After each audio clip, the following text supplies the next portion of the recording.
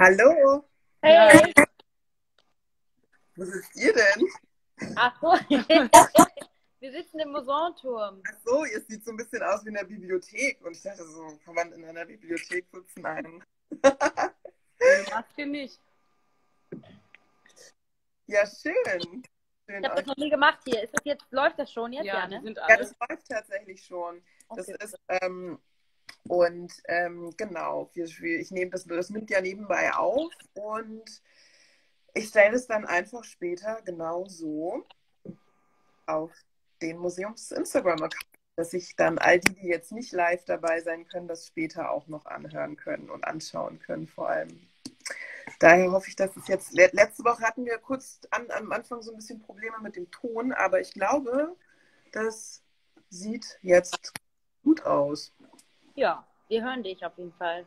Ja, und das war so ein komisches Schmatzen immer letzte, letzte Woche. Und äh, es ist 19 Uhr, wir können also schon starten mit dem Talk. Also ich freue mich, dass ihr euch die Zeit nehmt, beim sechsten Angewandte Talks mit dabei zu sein. Für alle, die jetzt hier zuhören, vorher noch nicht zugehört haben. Also wie gesagt, sechste, das sechste Mal mache ich das jetzt schon.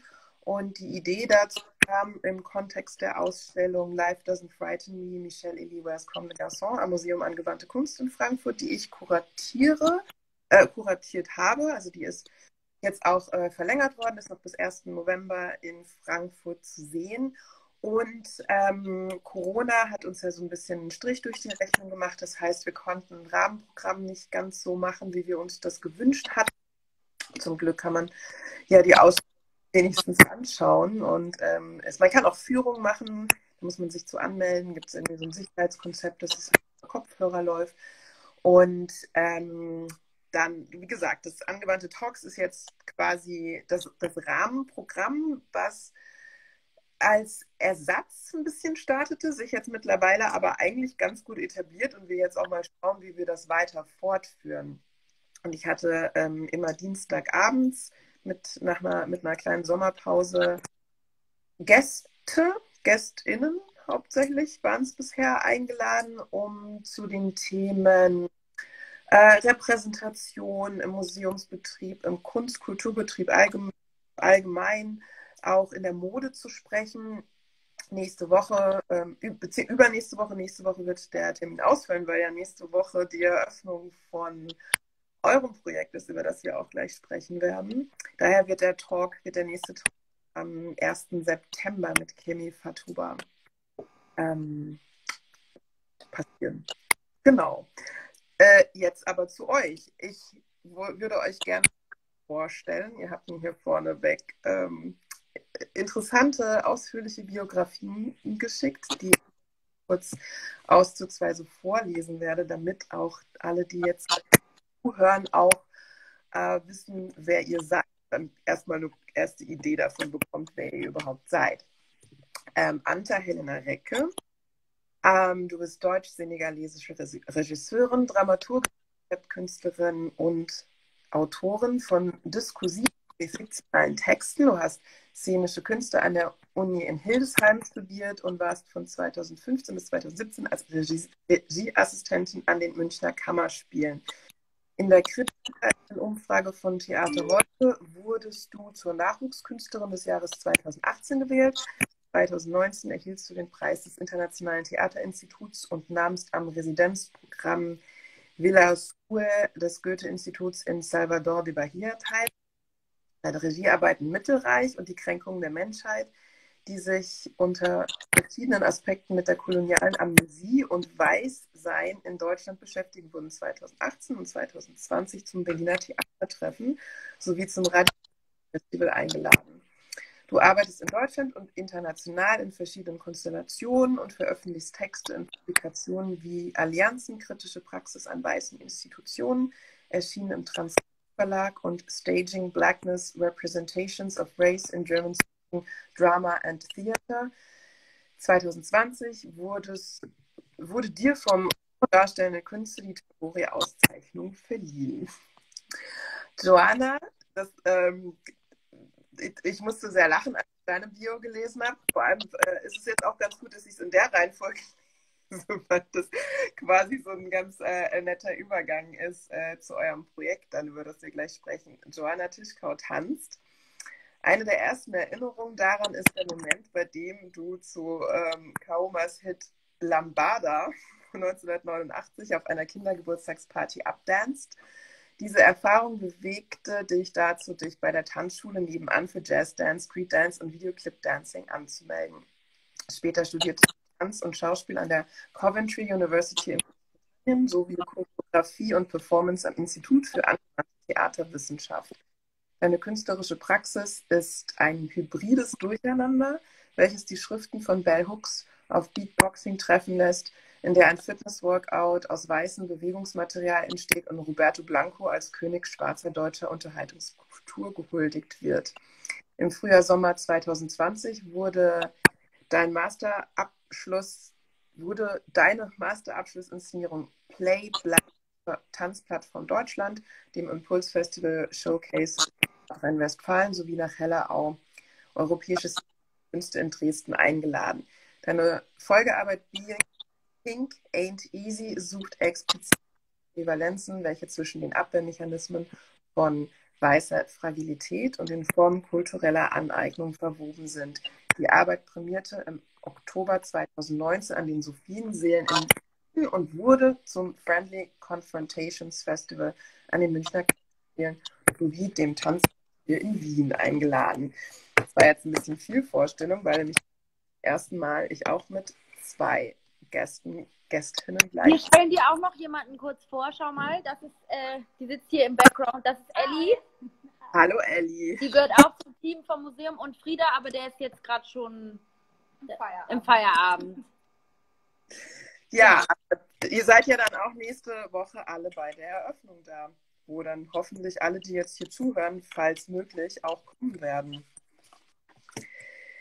Ja, wie kommt es dazu, dass wir jetzt miteinander sprechen. Also einerseits natürlich aufgrund eurer, ähm, eurer Arbeit, die ihr tut, die ähm, ganz abgesehen vom aktuellen Projekt auch sehr interessant ist. Und allein deswegen könnten wir, könnten wir uns eigentlich schon im Rahmen dieser Reihe unterhalten.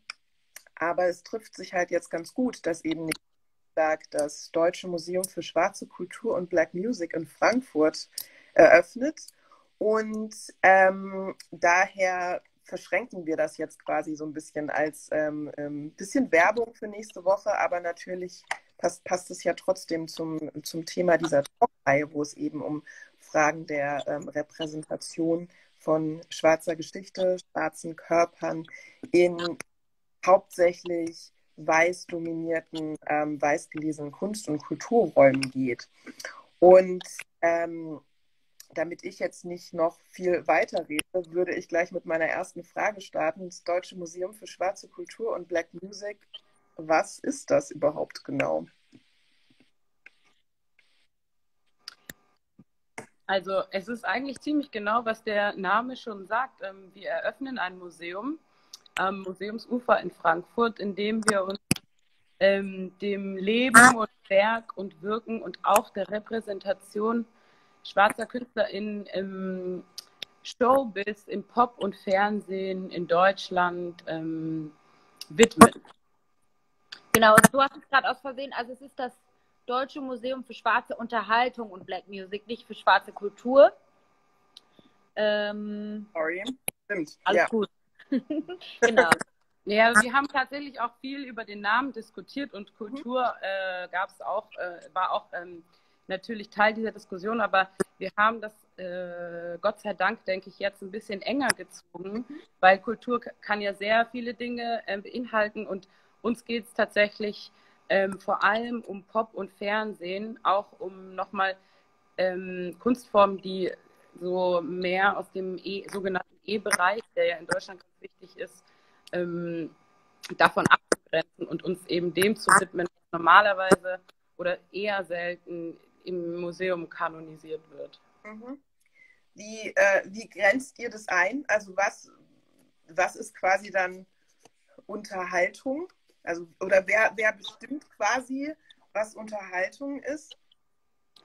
Ich glaube schon ein bisschen so kommerzielle Marker wie Erfolg, also so, so popkultureller Charterfolg oder so Sichtbarkeitserfolg, Unterhaltungsfernsehen, einfach TV-Sendungen, die so ganz klar ähm, ja, der Unterhaltung gedient haben, also jetzt keine Politshows oder Moderationssendungen, wo irgendwie so ernste Themen verhandelt werden, sondern das, was man quasi so zum Abschalten oder so konsumiert oder auch Musik, die ganz klar sich im popkulturellen Bereich bewegt und jetzt keine neue Musik oder ähm, ja, keine Ahnung, so. Ja, ich glaube, ganz, eine ganz ziemlich einfache Kategorie ist auch zum Beispiel, ähm, kennen meine Eltern die oder so. Also einfach Leute, die wirklich äh, sehr auf einem sehr speiten, äh, breiten Spektrum bekannt sind. Ja.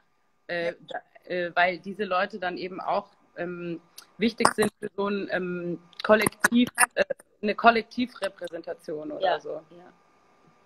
Ihr habt ja relativ früh schon, also ihr arbeitet ja schon lange daran und recherchiert, recherchiert lange. Da gibt es den Instagram-Account, über den wir jetzt ja gerade auch miteinander sprechen, der ja schon so einen groben Einblick darin gibt, wer, wer das so ist, also wer so damit gemeint ist. Also könnt ihr da vielleicht für alle, die jetzt das vielleicht nicht so genau wissen, wer jetzt, wer da jetzt in diese Kategorie mit reinfällt, ein paar, ein paar Namen nennen oder ja. Also ich glaube, unsere äh, älteste oder früheste Vertreterin ist wahrscheinlich Marie Nejar, die 1930 geboren ist. Ich glaube ne? ja. Und wir gehen so ungefähr bis 2005. Das heißt, wir haben sowohl Leute wie Mola Adebisi, Arabella äh, dabei, als auch eben äh, die Riege Roberto Blanco oder Ramona. Das ist ein bisschen weniger bekanntere äh, Entertainerin, aber aus einer ähnlichen Zeit. Ähm, Tic-Tac-Toe, Dino Angels, Broxes. Äh, wenn man wieder noch mal ein bisschen früher guckt, Schlagersänger in Billy Moe, Randolph Rose, äh, Jimmy Hartwig. Aber auch Hip-Hopper wie Sammy Deluxe oder Moses Pelham. Wir haben nur wenige, auch ein paar Leute aus dem Osten, zum Beispiel Tina Daute. Ich zeige euch mal kurz ein weißes Bild von ihr. Hm, die wir auch noch suchen. Mhm. Ähm.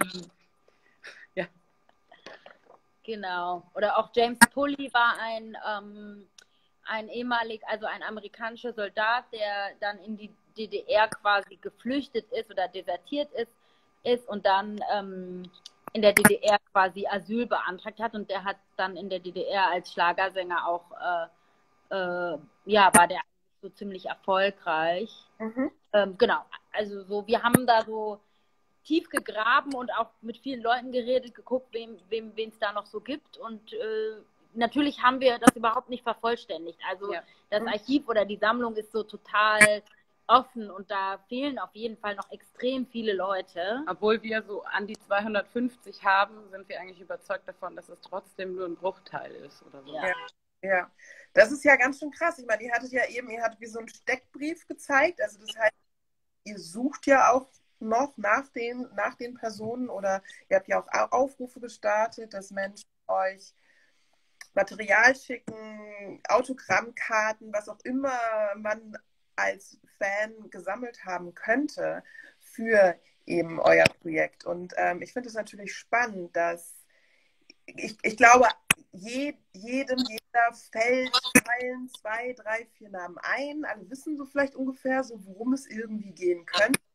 Aber ich glaube, das wird schon ganz interessant sein. Zumindest äh, freue ich mich da sehr drauf, dorthin zu kommen und dann erstmal zu sehen, wow, hey, das war, da war jetzt doch viel mehr, als mir ähm, als ich mitbekommen habe oder was ich vielleicht auch, worauf ich vielleicht auch geachtet habe. Ich hatte ja auch das, ähm, wir sprechen ja auch gleich über den Ort nochmal, äh, äh, wo das dann genau stattfinden wird und was das Besondere auch ist, wie das auch an diesem Ort stattfindet.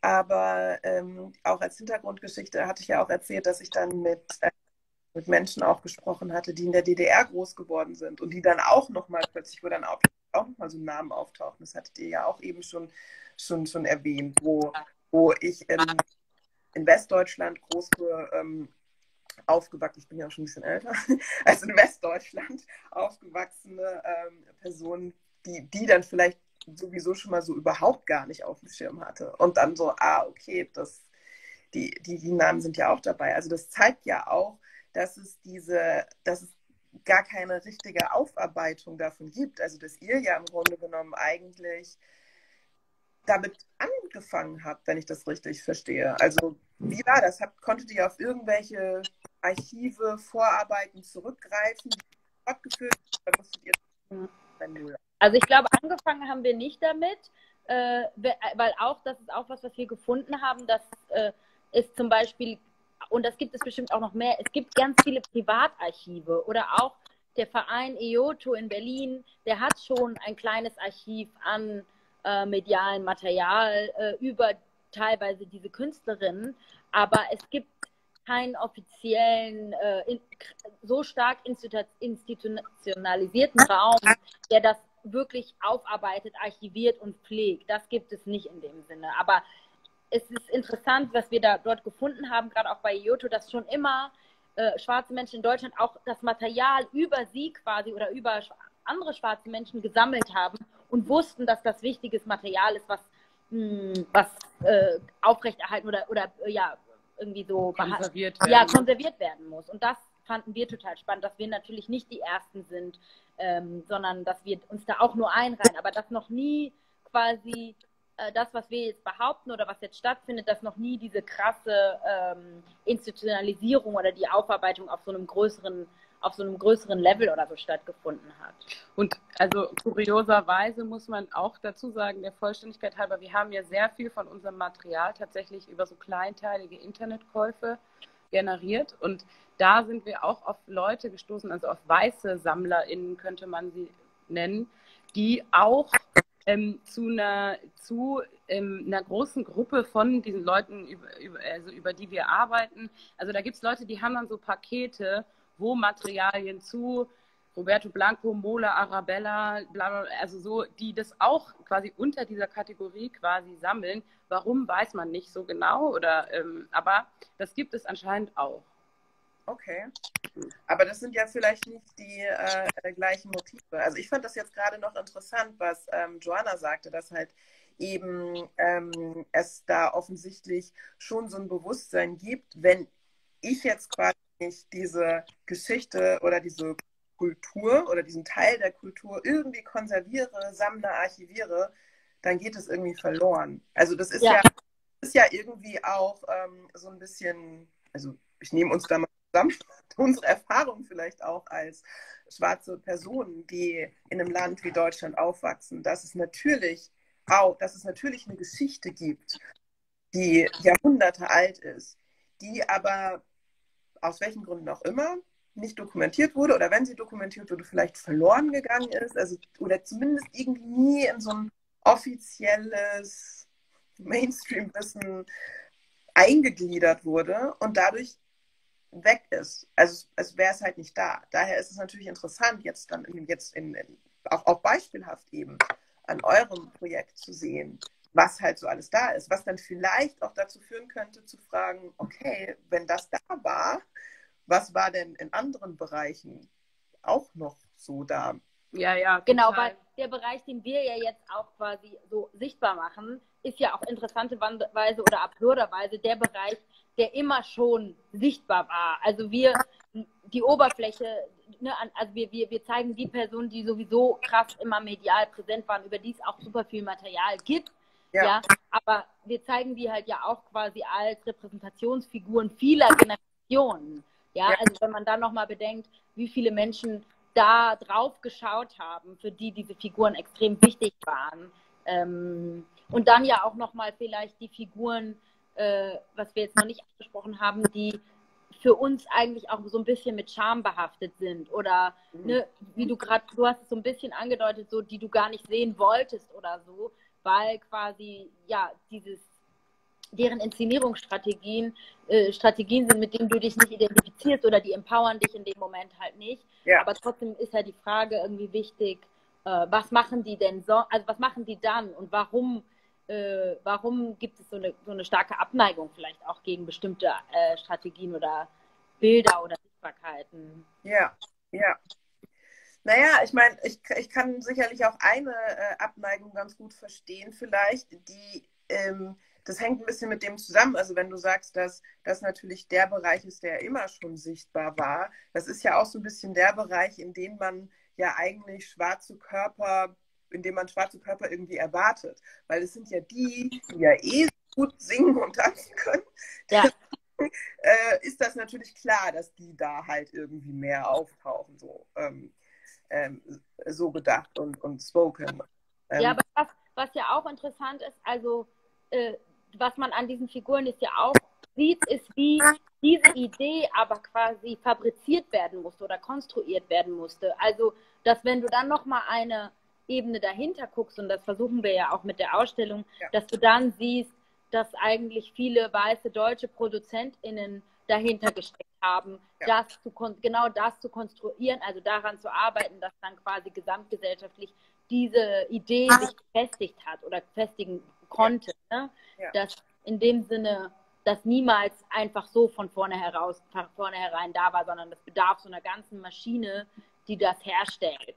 Diese Idee oder diese Idee oder dann ja. herstellt und vor allem dann ja auch reproduziert. Also weil man kann das ja irgendwie zurückverfolgen und man kann dann ja auch in so ganz äh, ja, kritische, schwierige Bereiche gehen, wo eben ähm, ähm, schwarze Körper genutzt wurden, in Anführungszeichen. Naja, was heißt genutzt? Schwarze Körper, nicht Anführungszeichen, sondern sie wurden ja tatsächlich genutzt zur ähm, Belustigung oder ähm, zur, zur Schaustellung ja, oder auch zur, zur, Be zur Bebilderung von einer Wertschöpfungskette, deren Ertrag quasi bei Ihnen nie so wirklich ankommt oder in sehr ja. unangemessenem Maße oder so. Ne? Ja, ja.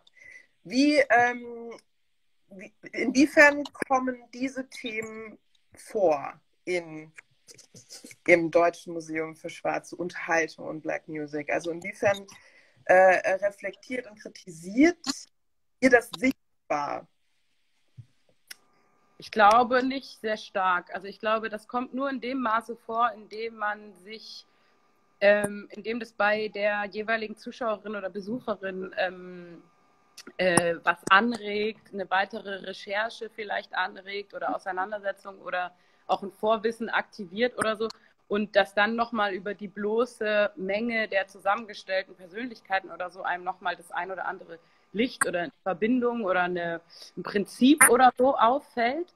Aber wir betreiben eigentlich in der Ausstellung überhaupt keine Aufklärungsarbeit darüber, sondern wir konzentrieren uns eher darauf, auf einen Vorgang, der für uns als Motivation für dieses Projekt, was Joanna eigentlich gerade schon gesagt hat, ziemlich wichtig war, nämlich so ein Reframing, so ein anderes affirmatives Ranholen der Inszenierungsstrategien von diesen Leuten für uns und ähm, also es geht eigentlich äh, schon darum, die einfach ein bisschen zu featuren, zu feiern und ähm, ja, und den Zusammenhang zwischen ihnen auch herzustellen, der bei vielen Konstellationen gar nicht so ähm, naheliegend ist oder so. Oder aber auch dann wieder absurderweise so krass, dass die gleichen Leute äh, oder dann für, für mehrere Dinge verwendet wurden. Also ja. es ist ja so absurd, entweder es gibt so gar keine Verbindung oder es gibt so Verbindungen, wo man halt so denkt, so, alter Leute, dass ihr das geglaubt habt, ja, ne, also wir haben jetzt letztens aber voll viel darüber geredet, wie krass es ja ist, dass zum Beispiel den Le die Leute äh, Milli Vanilli halt diese Singstimmen abgekauft haben und jede Person, die die aber mal in einem Interview sprechen gehört hat, hat musste eigentlich hören, dass Rob einen ganz starken deutschen Akzent beim Englisch sprechen hatte und Fabrice einen ganz stark französischen. Also eigentlich konnte das überhaupt nicht sein. Also da hat ja auch so eine Art der ähm, Blindheit statt oder nicht blind, ne, so eine Verschleierung oder man hat sich selbst so auch so bedudeln lassen von, ja. von der von dieser faszinierenden Ausstrahlung oder Aura dieser Band und man wollte das gar nicht wissen, ob die das jetzt singen oder nicht. Und das, ich finde, das zeigt sich auch so ein bisschen äh, an der Reaktion auf diesen Skandal oder so. Weil das ist ja letztendlich überhaupt kein ungewöhnliches Prinzip, das Prinzip Play, Play Black. Äh, Play Black. Playback alles ähm, ähm, Playback. Aus dieser Zeit, ne, das hat ja wie jede zweite Showperson oder so gemacht, aber das quasi in deren Fall das so skandalisiert wurde, ist ja auch nochmal, äh, steht auf einem ganz anderen Blatt Papier. Und da ist es natürlich eine besondere Konstellation, weil da sozusagen dieser weiße Produzent, der dieses Produktionsprinzip zu seiner zu seinem Signature-Move gemacht hat, dahinter steht und dann eben diese zwei schwarzen Jungs. Aber eben, das hat eigentlich, also es haben so viele Leute gemacht und auch bei so vielen Leuten wusste man das im Prinzip oder es kam, irgendwann gab es quasi das Beweis-Footage oder so, aber so ein Skandal war das nur bei denen. Oder ein so großer Skandal. Ja. Aber warum eigentlich? War das ja. lag das da, lag das an den beiden oder lag das vielleicht eher an dem Produ also an dem Produzenten, weil der ja berühmte Personen bis heute riesen viele Projekte gemacht hat. Also war das eher quasi sein Skandal und gar nicht so sehr der Skandal von, von der Band, von den zwei Tänzern? Nee, ich glaube, das war sein Skandal eigentlich. Oder er hat den auch quasi selbst ausgelöst. Also wir haben mal ein Interview mit jemandem geführt, ähm, der hier in Frankfurt halt in der Musikszene aktiv war. Und der hat auch gesagt, dass äh, er das quasi selbst am Ende auflösen wollte, auch um, also weil er da wusste, dass er wahrscheinlich da äh, sehr glimpflich rauskommt, weil das Geld war verdient, ja. verkauft, ja. äh, das, äh, die beiden Jungs haben eh nur noch Ärger gemacht, sage ich mal, von seiner, aus seiner Perspektive. Ähm, und dann hatte sich das für ihn auch gegessen. Er wusste, dass er die quasi, ja, wenn er die jetzt fallen lässt, dass er am Ende besser dasteht als die. Und ja. ich meine, wir haben auch jetzt ja nochmal diesen tollen äh, Interview äh, von, wann war das? Ich glaube 71 oder so, Interview mit Roberto Blanco gelesen, ähm, wo er kritisiert wurde. Er hat mal eine Fernsehshow moderiert, ähm, die hieß irgendwas mit Note, Roberto Blanco Show. Und dann wurde er vom Sender kritisiert, WDR glaube ich, dass er zu, einen zu starken Akzent hätte. Er sollte äh, doch akzentfrei Deutsch lernen. Und daraufhin hat er gesagt, äh, öh, wenn ihnen das nicht gefällt, dann sollen sie sich doch jemand anderen suchen. Äh, ein, äh, ein Burgschauspieler, der spricht dann akzentfrei, kann aber nicht singen und tanzen. Haha.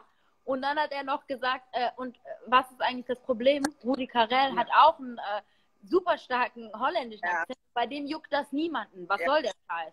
Ne? Und wenn man dann solche Geschichten oder nebeneinander hält, dann merkt man halt, dass da die, ähm, ja, vielleicht auch einfach die Umgangsweise sich verändert, je nachdem, mit wem dort halt umgegangen ist. Und wir ja. fanden das total stark, dass er, Roberto Blanco das auch für sich so formulieren konnte und gesagt hat, na ja gut, wenn ihr mich nicht wollt, dann sucht halt, halt, halt euch jemand anderen. Aber ich weiß, was ich kann. Ja. ja? Und ja. ich weiß, dass ich gut bin. Ja. Äh, Genauso auch wie so ein äh, Interview mit Arabella, wo sie auch, wo man nochmal so ein bisschen so Background dazu kriegt, zu dieser Zeit, in der gerade Scripted Reality im deutschen Fernsehen angefangen hat und dass sie sich mhm. ähm, super stark dagegen gewehrt hat, dass ihre Show jetzt auch gescriptet werden soll mhm. und da irgendwie noch so ein, zwei Seasons gegen angekämpft hat, bevor das dann, glaube ich, ähm, abgesetzt wurde.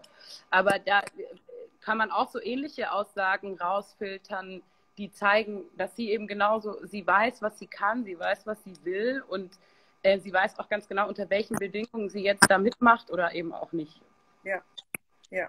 Ja, und ich meine, das sind, glaube ich, einfach oft die, die Stimmen oder die Perspektiven, die dann am Ende so voll krass hinten runterfallen oder so, ja.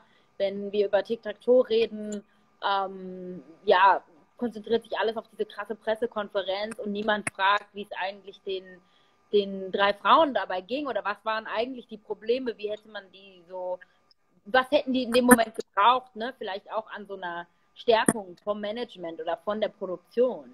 Ja, oder in, in welches Interesse hatte auch zum Beispiel das Management daran, diesen Konflikt so nackt und hässlich auszuschlachten in ja. der Öffentlichkeit oder so. Und ähm, was war das überhaupt für eine, also weil es war ja auch im Prinzip eine Castingband, nur ja. dass das Casting nicht im Fernsehen stattgefunden hat. Und ähm, das ist natürlich, ähm, das hätte man natürlich ganz anders auch managen können, aber das war natürlich gewollt, dass das so ähm, in der Öffentlichkeit stattfindet, in dieser Form. Ja. Ja, weil das natürlich auch wieder stereotype Vorstellungen befeuert, von denen man halt irgendwie auch wusste, dass sie irgendwie medial funktionieren und das irgendwie das ist, was Menschen anscheinend sehen wollen. Ich weiß nicht. Ich dachte gerade nur, inwiefern sowas heute noch möglich wäre. Ich glaube, das oder möglich ist.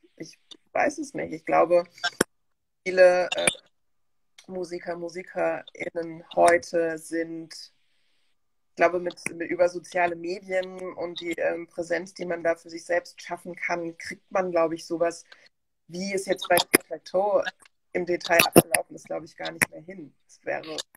Ja, und ich glaube auch, dass man sich heutzutage ähm, viel stärker und viel spezifischer auf bestimmte Zielgruppen so einschießt und dann ganz zielgruppenspezifisch sozusagen nach außen kommuniziert mit einem persönlichen Touch und so, aber trotzdem halt sehr kontrolliert und sehr einfach entlang der Forschung, was funktioniert oder so. Also man hat da einfach auch so ein bisschen bessere Knowledge und Technologie, glaube ich, und muss sich nicht mehr so stark auf dieses, okay, einfach so laut und auffällig und krass wie möglich, äh, damit alle hingucken oder so, mhm, äh, beziehen.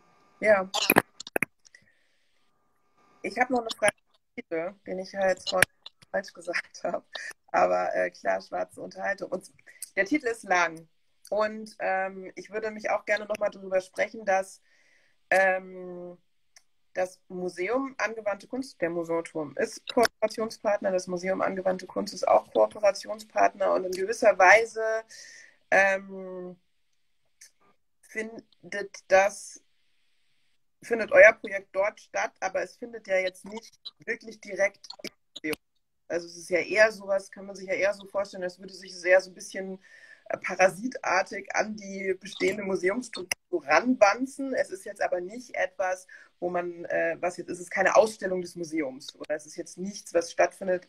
Was, man kann nicht durch den, man kann, das hat einen separaten Eingang, ähm, findet quasi irgendwie schon im Museum statt, irgendwie aber nicht. Warum ist das so? Also warum überhaupt erstmal dieser Titel Deutsches Museum für? Und ähm, war euch wichtig, dass es irgendwie im Kontext einer gesetzten Institution stattfindet? Habt ihr danach, also von Beginn an gezielt gesucht? Was ist da der Prozess dahinter?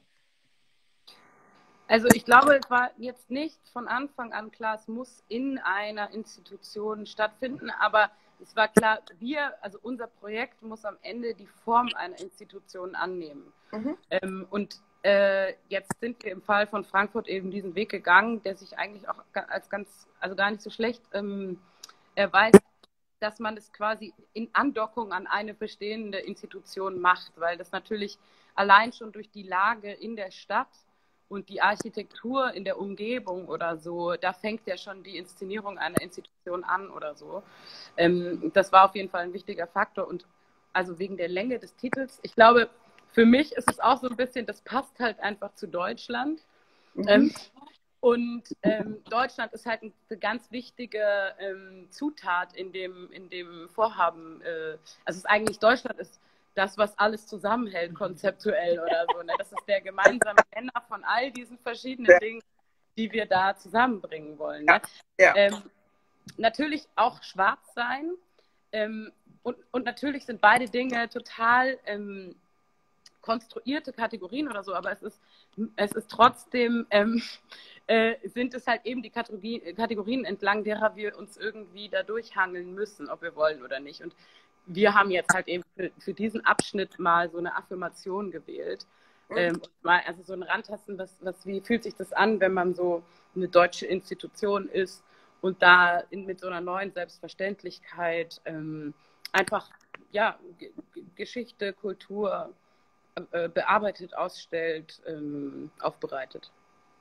Und ich meine eigentlich, also genau, der Titel, also Museum angewandte Kunst ist ein bisschen kürzer, aber Angewandte ist auch so ein Begriff, wo niemand immer so richtig weiß, was soll das eigentlich sein. Also diese Floskel, Floskelmasse, das ist ja auch, wie, ja, wie Anta sagt, ist ja auch einfach so was sehr Deutsches oder was diesen Institutionen halt einfach anhaftet und wo wir uns auch reinsetzen wollten. Wir fanden auch, dass der Titel das dann halt so am besten eigentlich, eigentlich ausgedrückt hat, was wir wollten. Ne? Und auch dieser Begriff Black Music nochmal als so ein, auch so einen typisch deutschen Begriff nochmal so zu sichtbar zu machen und nochmal, weil das ist so krass.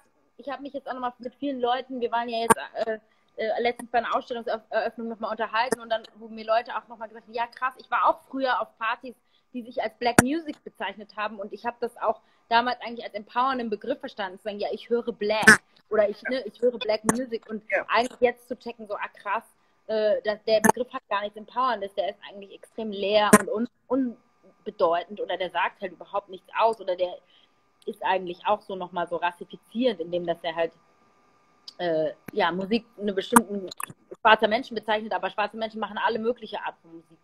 Und ja, ähm, ja und das ja. ist einfach so ein krasser Begriff, der irgendwie so in, ähm, ja, in Deutschland sich so krass etabliert hat einfach. Aber was genau? Ich glaube auch ganz kurz. Achso, sorry.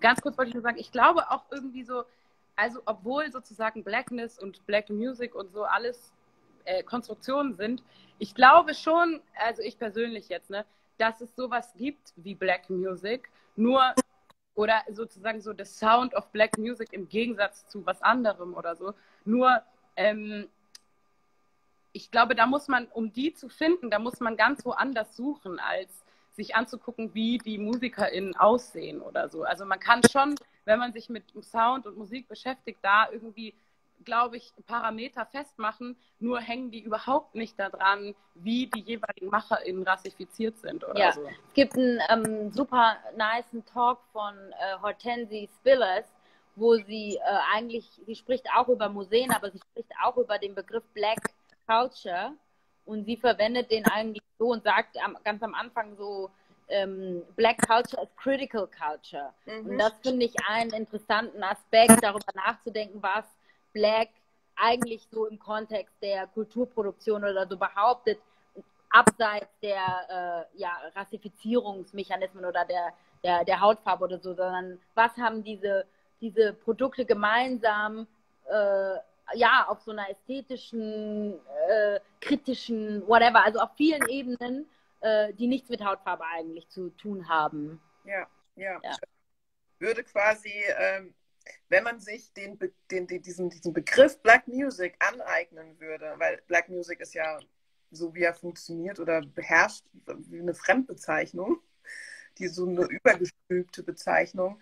Und in der, in der, ähm, so verstehe ich das, was ihr sagt, als ähm, ja, als so eine Aneignung des Begriffs würde sich dadurch daraus natürlich etwas völlig anderes entwickeln und würde vielleicht auch ja in so eine politisierte Form auch gehen, wie natürlich der Begriff Black oder Schwarz eben auch funktioniert.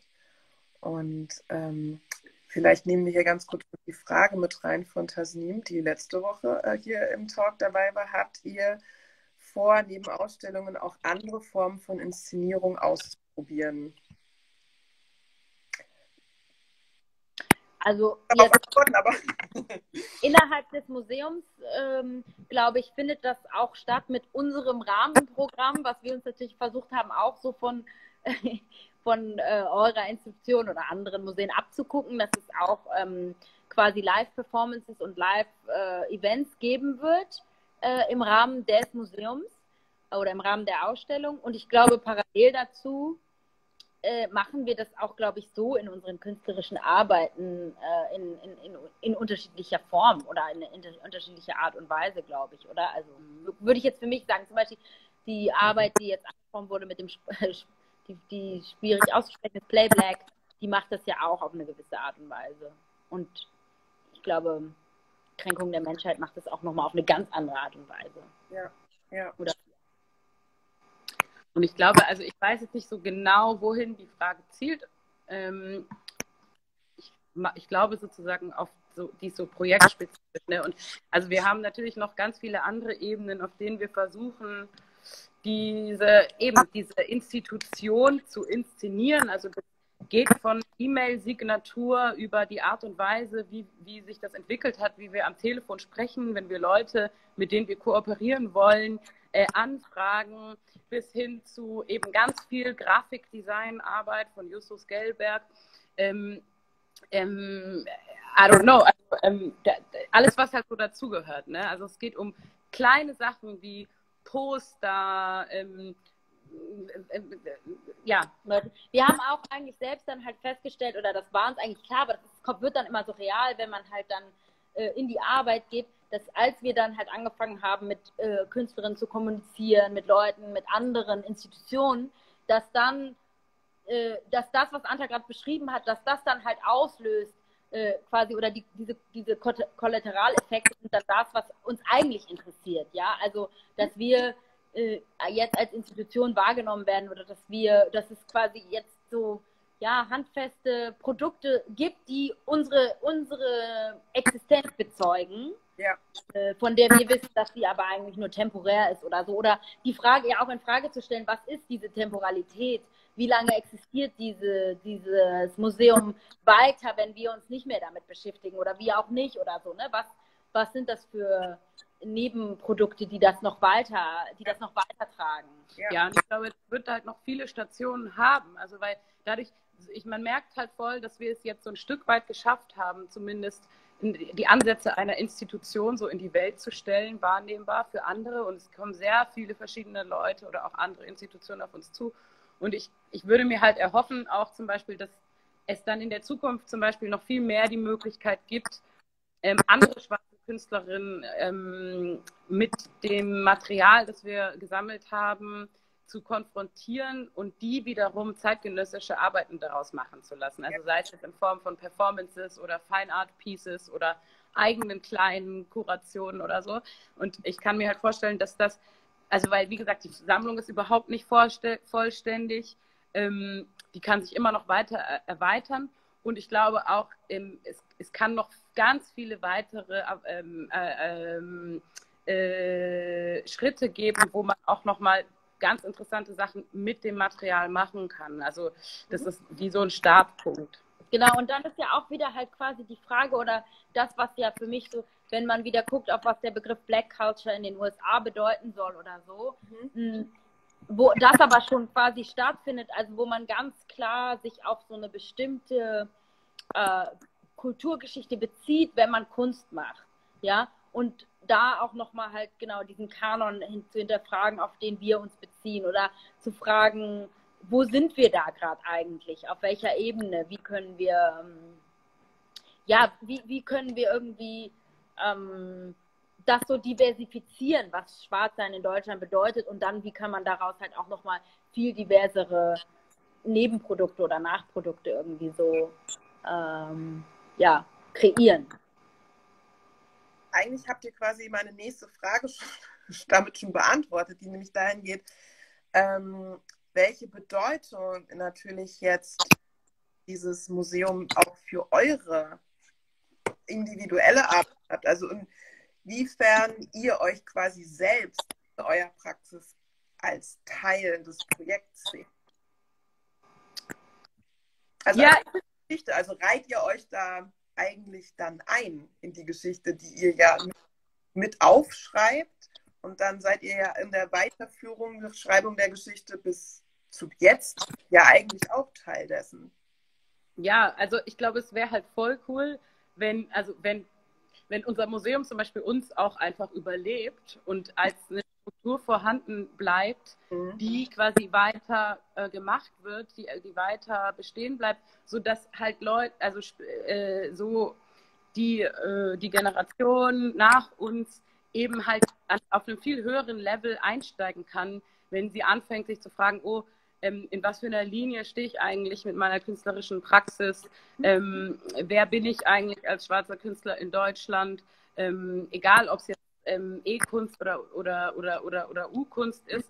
Und ähm, ich glaube auch so ein bisschen, ähm, dass so das Deutsche Museum für Schwarze Unterhaltung und Black Music fast der einzige Kontext ist, der mir im Moment einfallen würde, für den ich so gerne kuratiere oder so. Oder wo ich so gerne, also ich mache ja normalerweise nicht so wirklich so, so Kunstmanagementarbeit ähm, oder so, so Arbeit, äh, also ich eigentlich arbeite ich nur selber als Künstlerin und ähm, aber da das find, also jetzt zum Beispiel dieses Material, was wir generiert haben, mit anderen schwarzen Künstlern zusammenzubringen und zu gucken, was da noch dabei rauskommen kann, das finde ich halt super interessant. Also gerade auch, weil wir halt selbst die Institutionen sind und ähm, das nicht quasi so als Tokens für irgendeine andere Institution ja. machen oder so. Und ihr den Raum ja auch einfach nehmt. Das finde ich ja, also das finde ich ja, ja, großartig und wichtig, einfach zu sagen, ja, wir gründen das jetzt. Wir sind jetzt eine Institution.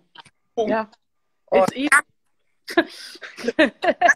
natürlich auch so diese ganzen Institutionsstrukturen so ein bisschen halt auch ähm, ja, nachahmt, weil das ja auch das ist, was Leute dann auch wieder verstehen. Also das, was ähm, ihr ja auch sagte, dass ihr euch mit der Stimme so ein bisschen anpasst am Telefon, das ist ja sowas, dann, dann fühlen sich die Leute auch gleich so abgeholt und also weil das, das kennen die dann schon und dann glaube ich, äh, ja, äh, kann man sich irgendwie so leicht durch die Hintertür so einschleichen und ist dann halt einfach da, ohne dass dann klar ist, wo kommt es jetzt eigentlich her. Aber ja, gut, jetzt ist es halt da. Das ist natürlich auch eine ganz ähm, interessante, interessante, spannende Strategie. Also wenn man das jetzt auch denkt in dem Kontext, worüber ich ja auch in den Gesprächen vorher immer sprach, was gibt es überhaupt für Strategien? Wie kann man irgendwie für Repräsentation sorgen? Wie kann man ähm, Stellen besetzen? Wie kann man Strukturen verändern vielleicht? Und ähm, insofern ist das ja eigentlich eine Möglichkeit, der, eine, eine Strategie, die Institution halt einfach zu erfinden, also zu schaffen. Also ich meine, sie ist ja gar nicht erfunden, weil die Inhalte sind ja da. Aber einfach halt genau, ja. die, die Struktur, die Institution herum zu setzen und dann einfach quasi ja dreist, in Anführungszeichen, einfach da zu sein. Und ähm, ja, bis es dann einfach auf diese Art und Weise einfach durch die pure Existenz dann irgendwann einfach angenommen wird oder akzeptiert wird oder dann vielleicht gar nicht mehr irgendwie hinterfragt wird. Das ist natürlich schon eine gute Definition.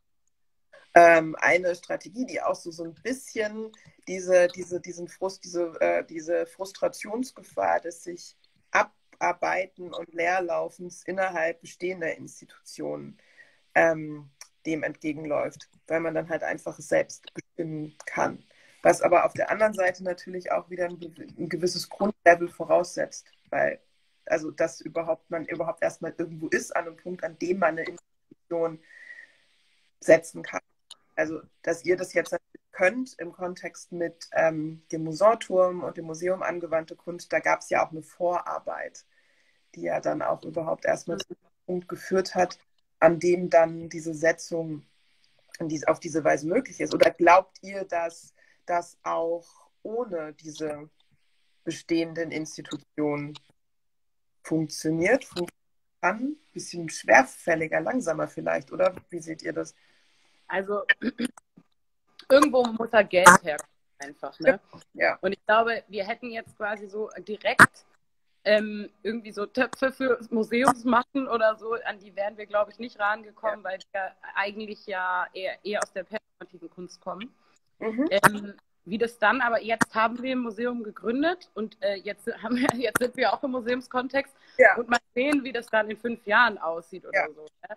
Aber ähm, nee, ich glaube, man braucht natürlich, ähm, man muss sich halt, irgendwo muss man andocken an die, an die, an die äh, machtvolle Struktur oder so erstmal, habe ich, hab ich das Gefühl.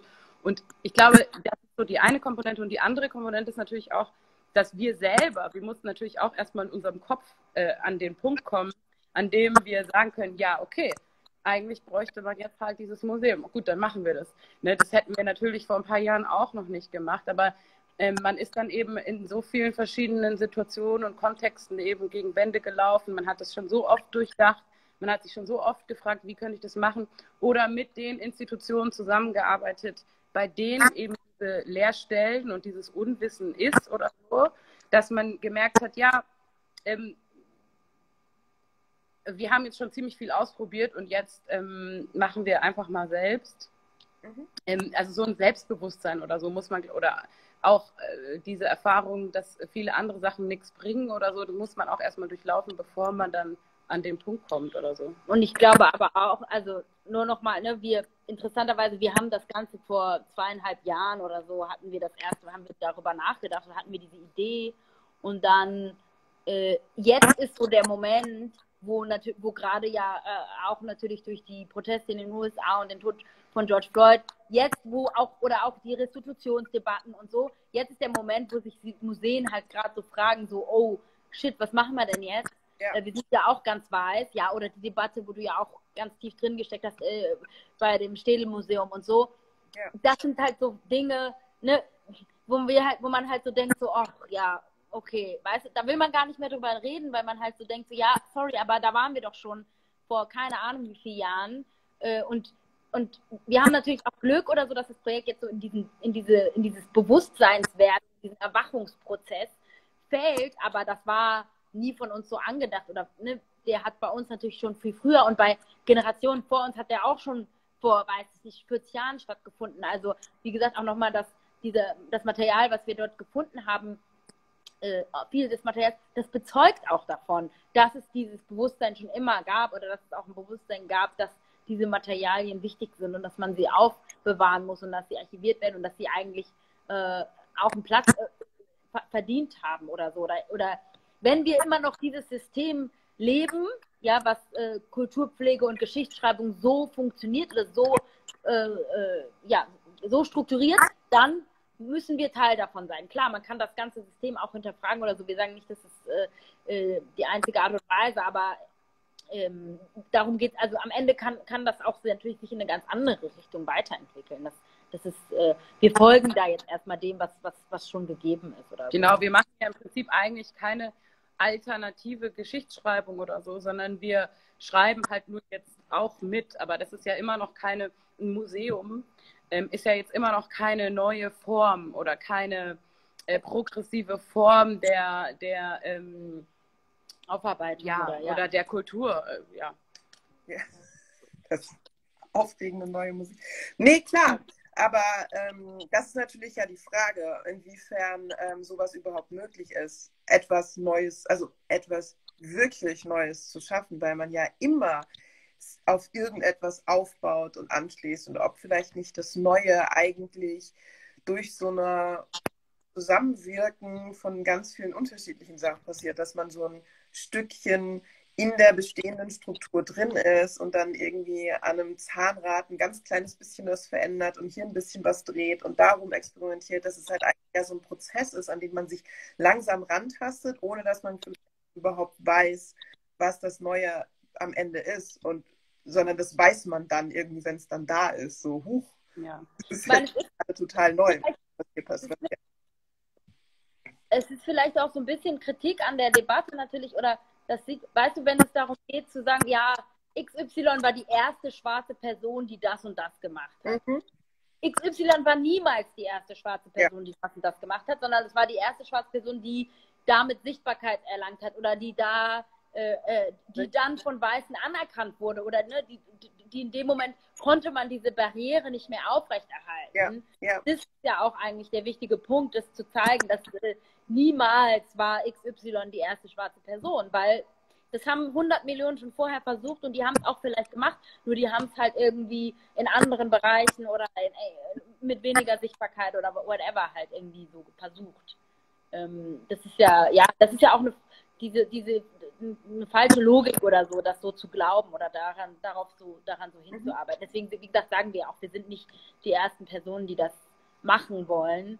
Äh, ich glaube nur nochmal zurück auch zu der Frage von vorher, dass vielleicht der Theaterraum oder so uns ein bisschen mehr Spiel gibt, vielleicht darin.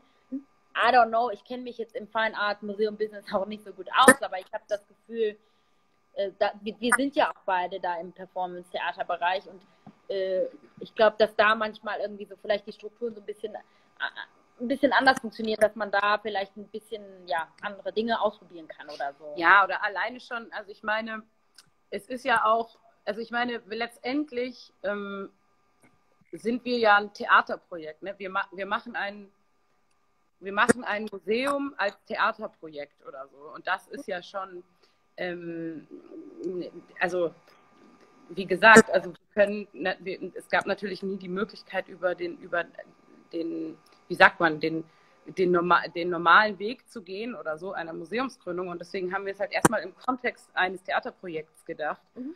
Ähm, ja. ja. Ja, aber ich finde, das macht schon Sinn, weil das glaube ich auf jeden Fall, dass es dort mehr, mehr Raum gibt, ähm, Sachen zu testen und auszuprobieren und zu versuchen.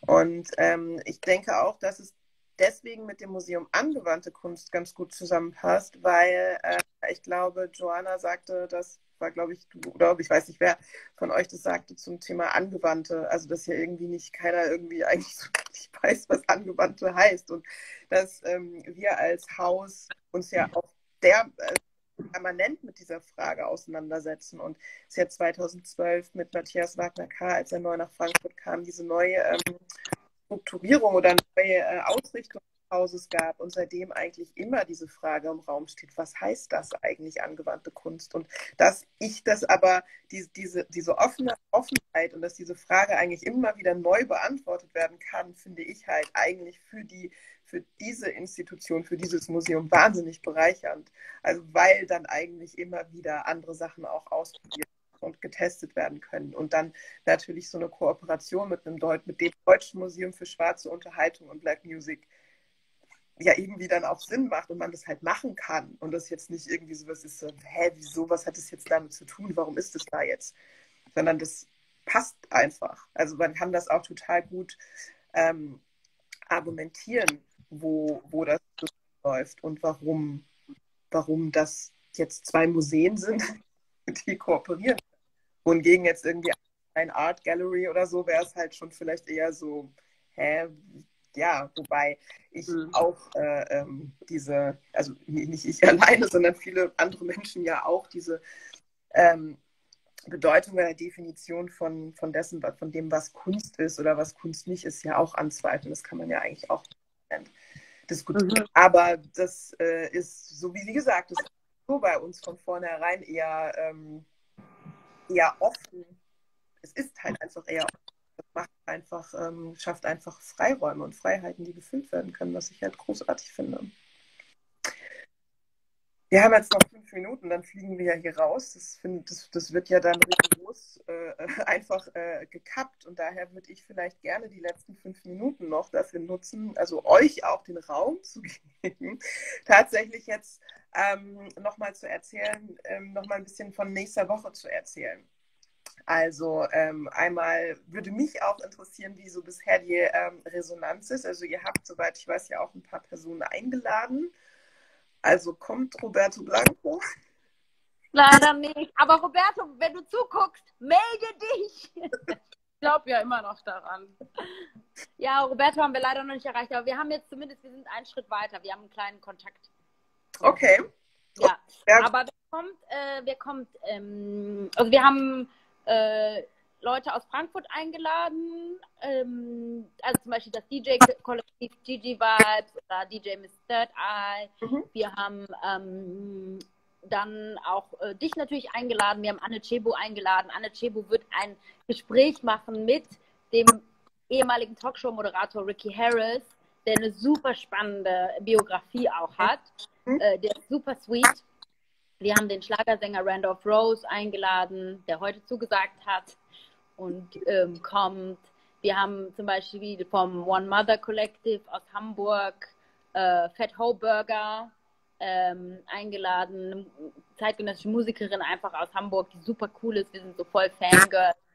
Ähm, ja, wir haben einfach versucht, so ein bisschen genau das, also was Anta vorher schon so beschrieben hat, so, so diese verschiedenen Generationen oder auch so Richtungen so einfach zusammenzuschmeißen und zu gucken, was sich daraus ergibt, so ne? diese Konfrontation irgendwie herzustellen zwischen ja unserer Generation, der, der Generation, der davor vor war und Leute, ja junge schwarze Leute von jetzt. Also eigentlich genau das zu machen, was der Begriff Black Music macht, so ja. äh, so ein bisschen frech auch oder so und zu fragen, was passiert, wenn der so von uns angeeignet wird oder so. Ja. Ja, wir schaffen einen Begegnungsraum natürlich. Also jetzt sind es noch äh, 40 Sekunden. Okay. Oh, ein Begegnungsraum und dafür bin ich euch auf jeden Fall jetzt schon mal sehr dankbar und ich hoffe, dass alle, die kommen, die alle, die zugehört haben, kommen und natürlich noch viele mehr. Und ähm, ich danke euch fürs Gespräch, danke euch für eure Arbeit. Danke für die Nonstop-Herzen auch. Ja, von Jan Champion. Jetzt das ist großartig. toll. Vielen Dank an alle, die zugehört haben. Und wie gesagt, dieser Talk, diesen Talk gibt es dann auch später noch zum Anhören auf dem Museum Angewandte Kunst Account. Vielen Dank. Danke, Danke Marit. Wir wann freuen uns auf du, dich. Wann kommst du? Ja, wann kommst du?